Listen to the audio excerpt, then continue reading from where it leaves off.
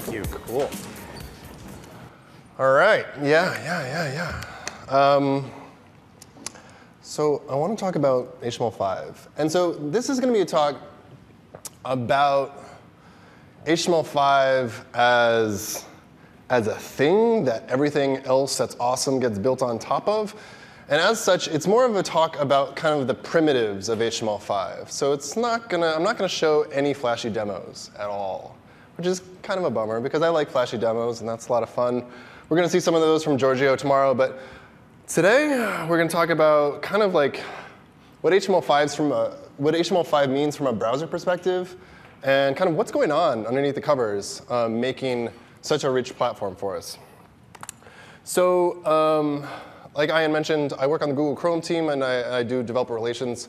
Um, uh, with Divya Manian, I uh, created the HTML5 boilerplate and lead that project. I'm also the lead developer Modernizr. I'm on the jQuery team, and I like making the web fun um, as much as I can. So the way that we're going to kind of talk about this is with this document right here. So this is HTML5 document. It's got some stuff in it. Um, we're going to kind of use this basic document as how we're going to kind of structure this conversation around HTML5. And we're going to kind of start from the top of it, if that's cool. Starting with the doc type. And to start with the doc type, I need to introduce this place. Uh, does anyone know what this place is? Yeah, this is, um, this is Cafe Centro. This is in San Francisco, a little cafe, cute cafe.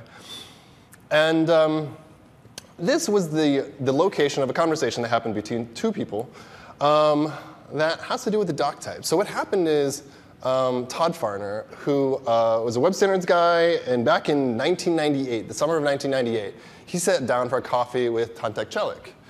And the two of them were talking about things because what had happened is that there was a lot of movement around web standards, and, and, and basically there was an, uh, a new um, rendering um, and layout um, path that had to happen in browsers.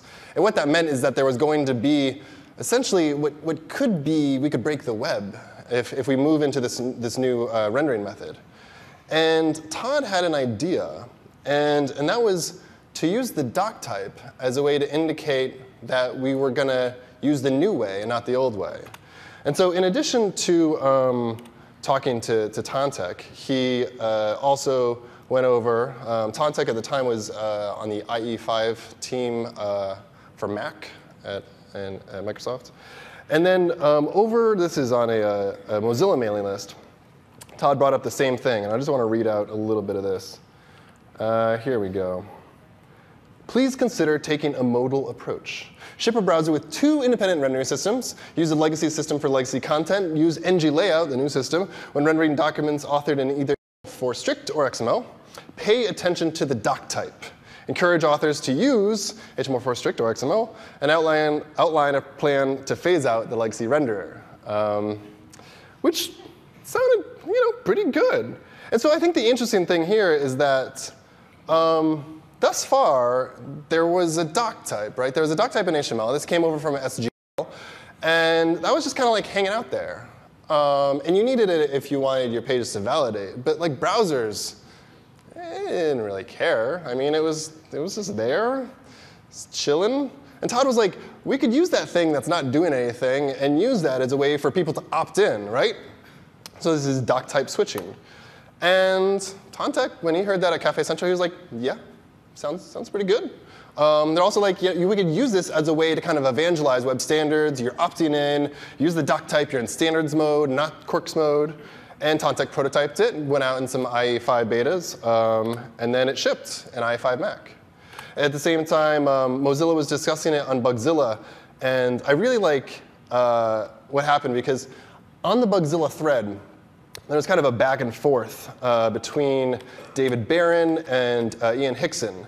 And they were starting to discuss like, what are all the different doc types and what are, what are their behavior? And so like down about here, yeah, Hixie uh, was identifying, so these ones actually trigger a quirks mode, these trigger a, a strict mode, because it's true that not just having any doc type trigger standards mode, but only some, right? So um, some of that actually went into the, to the HTML5 spec, so you can go and view these are the doc types that do, in fact, trigger and have to trigger quirks mode. All right, so, um, but what happened in HTML is that there were these big, um, this is the XHTML1 transitional doc type. The DTD is essentially uh, uh, optional, but, but in HTML5, they're like, you know, let's take a look at how all browsers handle this. And we were able to shorten it. But the thing was is that the HTML5 doc type is not designed so much as it's just discovered. And it was just like, if all browsers treat this the same way, then we can just go with this short, nice, memorable thing. Uh, the next thing after the doc type that I want to touch on is the meta charset. Um, and so this is essentially what it was like, right? We have this HTTP equiv. I don't even know. I don't know what that. And anyways, this is not something that I ever learned to memorize. But what happened is that um, browsers handled this a little funnily because authors not always so good with the details, like quotations. And, ooh. So what happened is that sometimes an author would leave off the quotation marks on their, on their meta charset. And then something would happen like this, where uh, the syntax highlighted actually points it out pretty well, which is instead of this big quote um, that encapsulates all of this, uh, there's no quote. And charset is essentially interpreted as an extra attribute. And what browsers were doing at the time were like saying, you know what, it's OK if you leave those off. And if you do, we still want to make sure that that character encoding happens, because that's actually really important. So we'll let that happen. So in HTML5, we just made sure that all the browsers were doing this um, and said, you know, essentially, if there's an extra attribute that is charset and its value is UTF-8 or, or, whatever, I mean, we'll just take that and use that as the content type for the, for the document. So that's another thing from HTML5 that's not designed so much as just discovered. Um, I do want to point out that it is important for, you always need to define the character encoding um, for your document. And I encourage you to put it before the, the title tag. And this is something that we do in the HTML5 boilerplate. The reason why is because of UTF-7.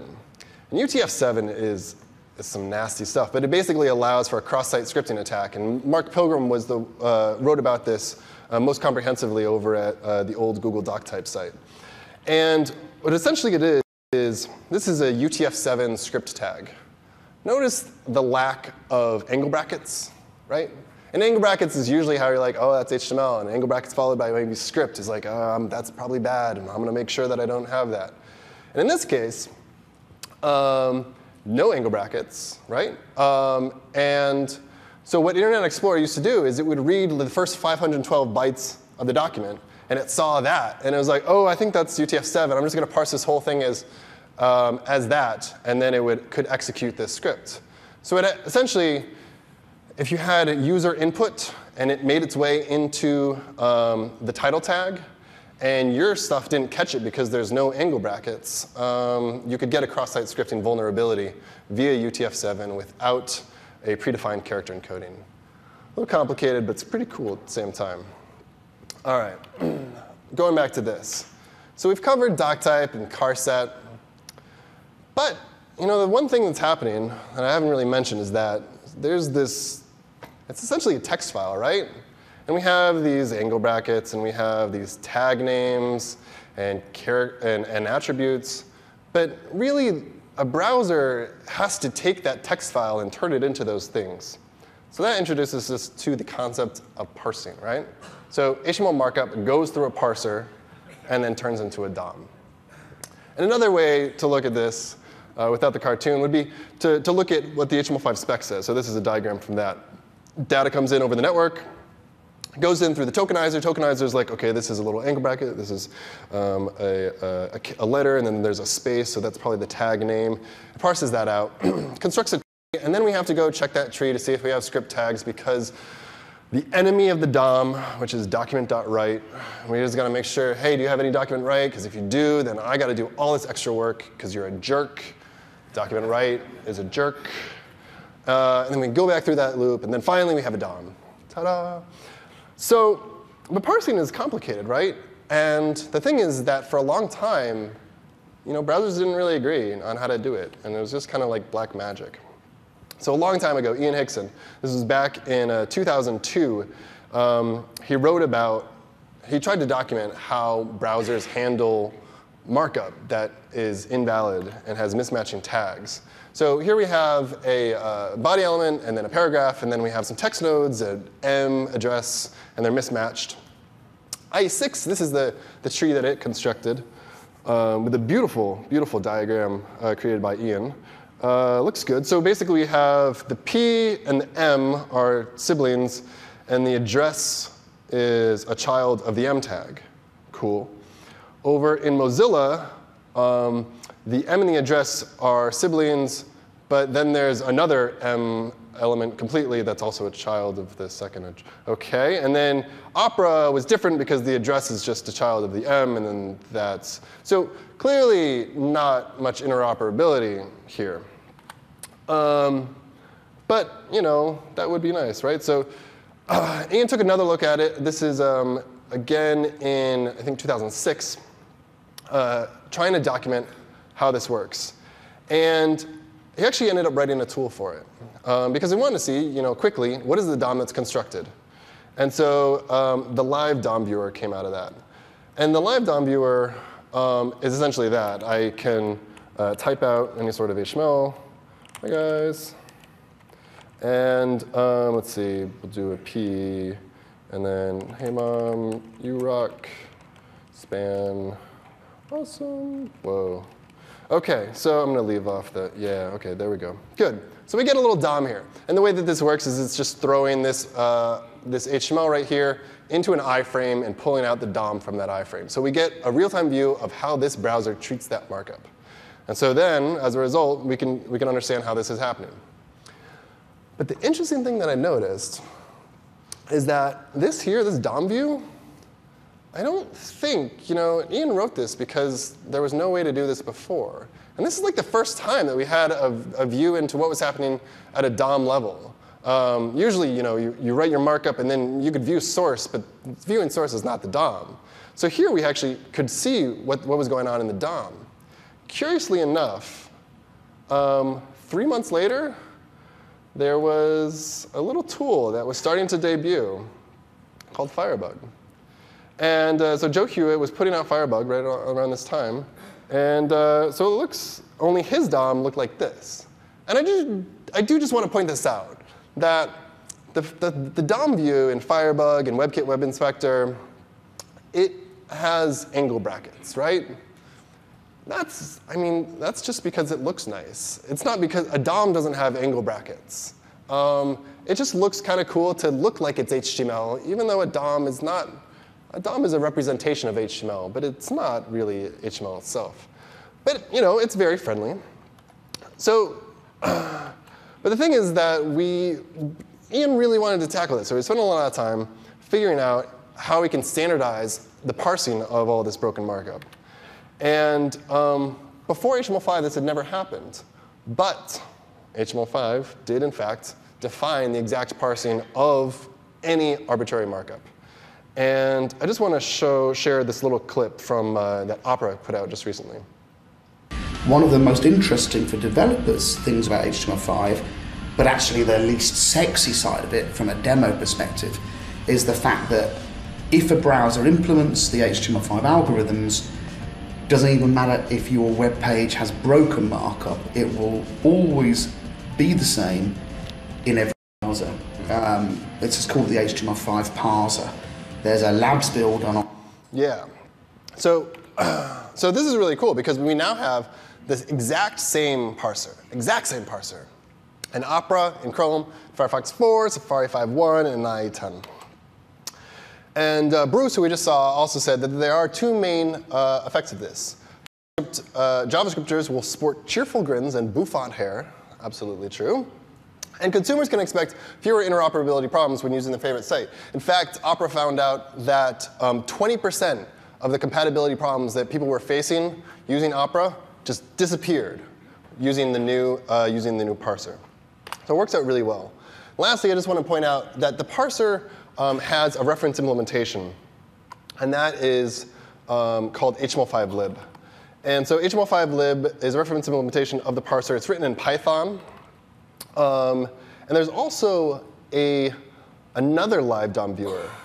And uh, this is over at validator.nu. And the interesting thing, it looks very similar to the one that we saw from Hixie. But the interesting thing with this one is that instead of taking the, the markup here and throwing it into an iframe and seeing out what the, uh, the rendered DOM is, is that we have uh, this, this, this script tag here. If you look at this JavaScript, it is some nasty stuff. Look at, look at, weird. Anyways, this is um, a GWT, a Google Web Toolkit compilation of a Java implementation of the HTML5 parser.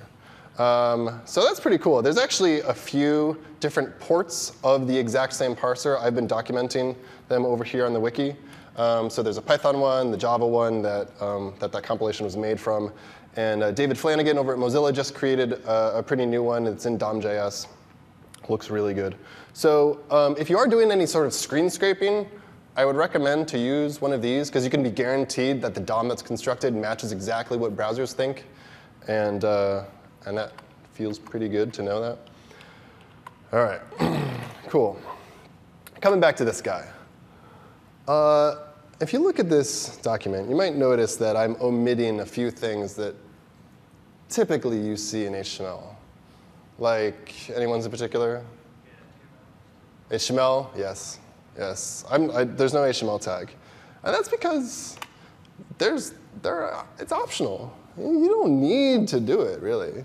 Um, so there's, in HTML5, there's a few optional things, even in HTML4. Um, HTML tag, head, body, colgroup, t-body. T-body sometimes catches you. you. Like you write a child selector, or you're writing child selectors, you're like table tr, td, and you're trying to select that, and you're putting the child selectors between it, and it totally breaks because because the browser injected a t-body in there. Eh, it catches you. But I want to show you, this is actually the WebKit source here. Um, and this is treebuilder.cpp. We, uh, we get in a new token, we're reading a token, and it says, hey, if it's a tr tag, then process fake start tag t-body. It's like, hey, you, I got a TD, I, I, got a TR? Okay, just make sure that there's a T-body. Just do a fake one if you need to. Um, so like browsers construct that on your behalf if, if you don't leave it in. So there's also optional end tags. You don't always need to close off uh, your elements if you don't want. You can leave off uh, HTML head and body. Lists, I, I, like not, not closing these. Also a lot of table stuff. Um, also P an option, but I would close your Ps. Feels, feels good, feels good. But, but check this out. So like at the top here, a basic list, not closing off my LIs. Looks good, feels good, I like this. Down here I have a more complex example, right? A, a table, and I kind of have the columns all lined up. I'm not closing off my T-head, my T-body. Uh, ooh, yeah, I just, I really like the feel of that. And, I, and it's fine if like you don't, like you're looking at that, just please just close those, those are driving me crazy. That's fine. I mean, so I think this is more maintainable. I think that's the most important part. Like, what is the most maintainable for you and your team, right? Not, I mean, the, the important part, the part that I'm trying to make, the, the point that I'm trying to make here is that IE6 constructs the exact same DOM out of this as every other browser. Like, this is interoperable, totally. There's no problem. You can feel very confident writing HTML like this and having it come out to look good. So you, leaving off tags like that, you can construct some kind of minimal markup, right?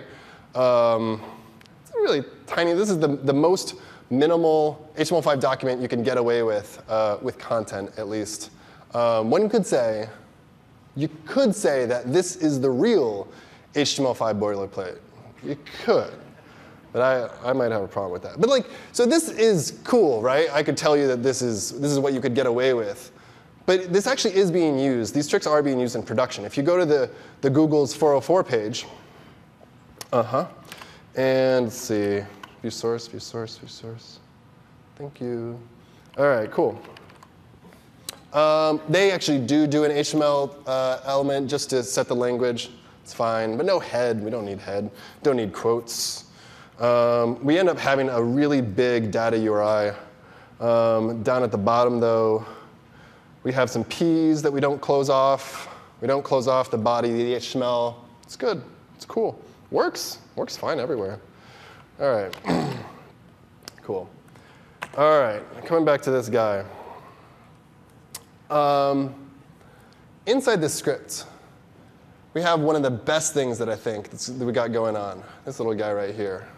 And this is, inner, inner HTML is kind of enabled by parsing and, and what we were just talking about.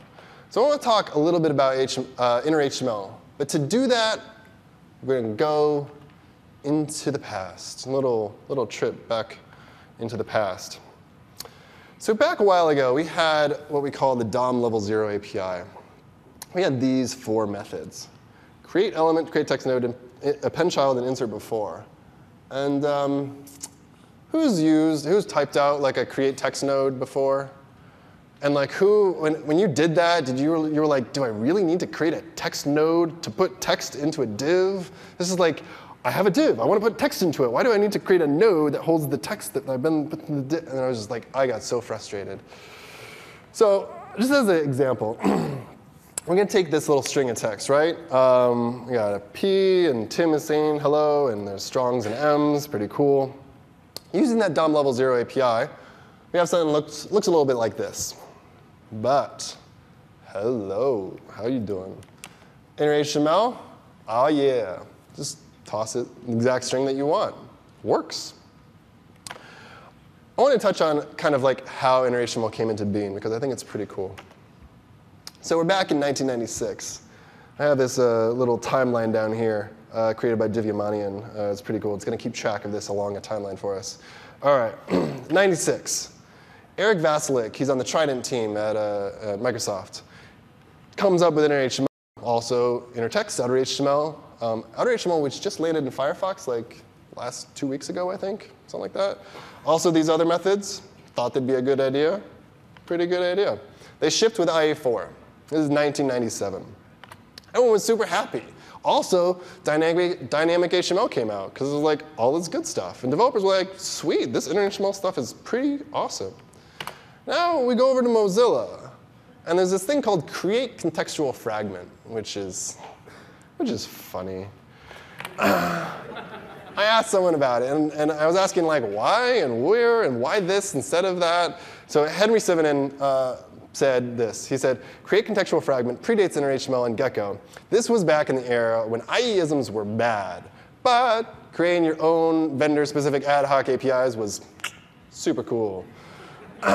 so yeah, so this is the API. So first we create a range, and then um, we kind of set a context. We have our string. And then we take that range and we call create contextual fragment on it, and then we pass in the string, and that returns a document fragment. And then the document fragment has that DOM stuff, and then we can drop that into the container. And if you've worked with the document fragment, it's pretty cool. It's like this like this mysterious gel-like substance that holds DOM, and when you drop it into your page, it like disappears and dissolves, and you're like, yes, thank you. You did your job. So, so if we bring back up this timeline, so September 97, uh, uh, IE4 shipped with inner HTML. It wasn't until June 99 when Create Contextual Fragment came out. Developers had been like, hey, we would like that thing. And Mozilla's like, totally, we'll give you Create Contextual Fragment, finally. And then like right afterwards, they're like, so thanks for Create Contextual Fragment, but I'm going to file a ticket because I want that real thing now, thanks very much. and I really like this. I, over in this Bugzilla ticket, um, you look down and there's this, this comment, and it says, here's an example of the horrid contortions people are going to try and get around this bug, lack of a badly needed feature, for DHTML developers.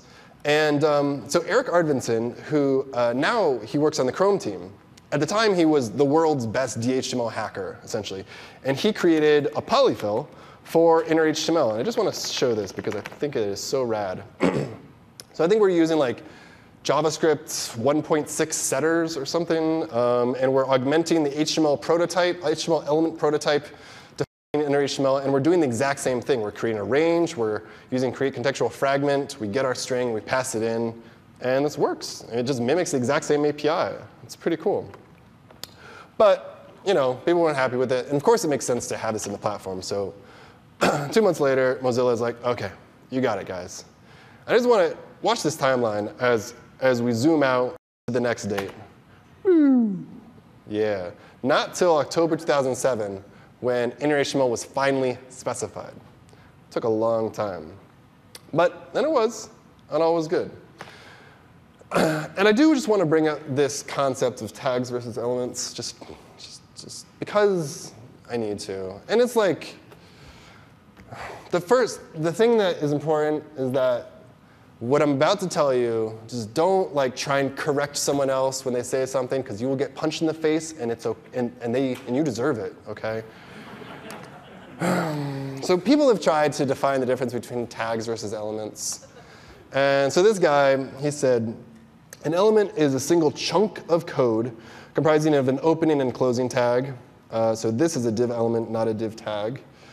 And then tags are the bits that make up elements div is a tag, an opening and closing tag makes an element. Yeah. First of all, it's not opening and closing tags. It's start and end tags, thanks. I mean, seriously. But I, I mean, whatever. So it's, it's complicated. Um, so I'm going to try and demonstrate like what this, what the real difference is. Okay. We're going to create a div. Um, yes, yes, good. in this div, we will put a span. Just chilling in this div, it's pretty sweet. Oh, span. yeah, yeah, so. Cool, cool div, outer HTML. Oh yeah. All right. this is a tag, right? And it's a tag because it's in a string. So tags exist in string space. Elements aren't strings. Elements are representations of DOM. They're representations of a thing in memory. It's like an object. If I type div, then even the, the Chrome DevTools, it tries to convince me that it has tags, and that's not even true. It's a lying to me. I'm going to use console.dir, pretty little handy guy, yeah, like this, yeah, sweet. Ah, yeah, this is an element. Element's got all this other stuff going on, like the, the, con- the data set and the first child, the first element child, that's an element. And the fact that we over here and we look in the elements tab, and then we see a bunch of tab, uh, we we see a bunch of tags inside here. It's, it's, all a ruse. It's the world. It's the wool being pulled over your eyes. It's lying to you. I mean, but it's, I mean, you get it. You get it. Anyways, that's the difference between tag and element. Please don't. Because the thing is, if you were to correct someone and they would punch you, and then that would hurt. But the thing is, like, for 10 years, we were talking about how on your images you really need um, your alt tags. Like, don't forget your alt tags. It's alt attributes. like it really matters. I mean, we've been fine calling it the wrong thing forever. No big deal. Anyways, okay, that's all settled and done. the last thing I want to point out, which I think is pretty rad, is this last bit, which is a little hard to see. So essentially, this last line, we grab this pre-tag. That's what we're doing right here. We're going to set the text content of that pre-tag to the document.document element outer HTML. Document element refers to essentially the HTML element, which is not even defined in my markup, but it is in my DOM. And then we're going to grab the outer HTML. And what that does is it does that one extra thing. So far, we've talked about markup going through a parser into the DOM, um, and we've talked about taking new HTML and throwing it in through inner HTML as a setter that goes back through the parser and goes into the DOM. But now we can talk about using uh, inner HTML or outer HTML as a getter, and we get serialized HTML. And this is the pretty cool thing because previous to inner HTML's debut, the concept of taking a chunk of DOM and serializing it into HTML didn't exist. It was like a one-way street. You could take inner HTML and go into a DOM, and then there was no way to get that back out into something that like looked readable, like looked like your language. It was pretty cool. And I think I should just show this demo page uh, once and for all. Um, the, page, the document that we've been looking at this whole time. I'm just going to view the source again because Yeah, okay. The source is what we've been looking at. So the important part is that we're going to populate the content of this pre uh, element with the outer HTML of the entire document. So this is what we get. we do get the optional tags that we never specified in our markup because we just serialized the whole thing. And so we have the HTML element and the head and the body and all the closing tags too. All right. So now that we have a good understanding of parsing, of optional tags, of the DOM and the difference between markup and, and DOM, we have some like cool stuff that we can do. Because we have interoperability and we can get away with some cool stuff that we might have been like a little scared of before.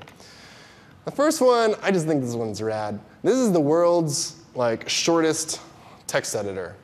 Take this guy, it's a little data URI, and you pop that into your browser.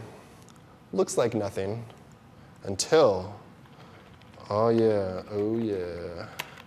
How you doing? Um, pretty cool. So like, you know, if you just want to like demo some uh, code or whatever, you could just, that's all you need. And you get, it's nice and fixed width too. Um, pretty handy. also, I get this question sometimes. People ask me, so um, what, what can you use as IDs in your markup? And you can use more than just letters if you want. And in fact, so the HTML spec says you can use anything. And that's cool. And so actually, if you use anything, you use get element by ID, works totally fine. So you can use like a smiley face, that's good. Um, but over in CSS, the CSS spec kind of disagrees with the HTML spec over here. And he says, uh, it's actually very specific. so identifiers can only contain the characters that and ISO that thing and then the thing and then the. Anyways, what this means is that you can use the letters and the numbers and you can use you can't use essentially things that you would usually hold down shift on your keyboard to type without escaping it. But then, in the, this little ISO something, something and higher, I don't know what this means. Um, what that means is these guys. You can use like happy Unicode guy and the Unicode snowman and everything. So I worked, uh, I worked with my friend Mathias Bynens, and he made a little test suite where we can just verify that, in fact, all this stuff does work. So a heart as an ID, or a smiley face, a snowman. I really like this one. This is uh, like you could have like a little song with your Unicode uh, characters, and like each paragraph could be a different little jingle. Uh, and in fact, so like right over here is the CSS selector. And you don't even need to like escape these. You just put them in as literal into your CSS, assuming everything's UTF-8, and you're all good. Um, if you want any help with this, Mathias made a nice little um, one-page web app called Mother Effing CSS Escapes, where you can just type in whatever um, ID you want to use, and, uh, and then it can tell you exactly how to escape the selector for here, how you use it with get element by ID and query selector all. Handy, handy stuff. The other thing that I really, really like is um, using quote free attributes. I don't know about so like so when I type HTML like this, like I love it. Like I feel so good. Like it's like it's like walking around in in your apartment with no clothes and you're just like, it's good. Like it's a little risky. You feel like a little, right? But at the same time, you're like, oh, those quotes were just weighing me down. So like, yeah, you have your you have your href and then you have the value of that, and there's no quotes around it, and you're like, is that cool? Is that cool? So again, here's the rule. Uh, all good, unless you have white space or one of these guys. And uh, Mathias um, awesomely created another test suite where we can just test out. So this is the same IDs as before, but we have no quotes around any of these. Um, everything gets pretty good. Even, even brainfuck um, as IDs works. That's good. Um, there is some stuff down here. So if you need a, a reminder on what does not work, you can go to mothereffingUnquotedAttributes.com. and um, so here you can just type in what the attribute value is going to be. And uh, so if like a, a, um, a, equal sign will not work in HTML, but otherwise things will work. Here's a nice little reminder. The cool thing here is like before we've kind of felt like these things are scary, and so we've just kind of avoided them. But in fact, there's rules behind it, and the browsers abide by those rules. So as long as you know what the rules are, you can feel confident in, in going quote free or, or keeping with quotes. I'm not, I'm not pressuring the no quote thing on you. I mean, you can leave it up to your HTML minifier if you want. It's totally fine. I'm, I'm into it. All right. last is, I like this. This is fun. You can take your doc type, you can add a little bit of character to it. You can personalize it. And here's kind of the base recipe. Doc type HTML public, and then you got this little string right next to it. So you have some options. You can just play off the public. Maybe you could go with like public intoxication. You could like public display of affection, other side of things. You could just show that literally and just like show hearts and happiness. Um, this is something that we use in HTML5 boilerplate, uh, nice little happy star. Um, you could also go with something like this, uh, go into the Unicode full full-fledged. So this is a, uh, a snowman being chased by three hot beverages. Happy. Uh, or lastly, I think this is one of my favorites. This is the, the recursive doc type. this is uh, so that you're in standard standards mode. Feels real good. Yeah, so I think we'll take our document, we'll give that, that upgrade. I think that, yeah, that feels pretty good. I like that. So lastly, I just want to point this out. The HTML5 spec is a repository of valuable browser knowledge. A lot of it has been acquired through reverse engineering. As web developers, we do a lot of trial and error trying to figure out what the behavior is. And it turns out the specs actually kind of tell you how things work, too. So take a minute to read the spec. Uh, the W3 has a um, author view of the HTML5 spec, which has all the implementer stuff ripped out of it.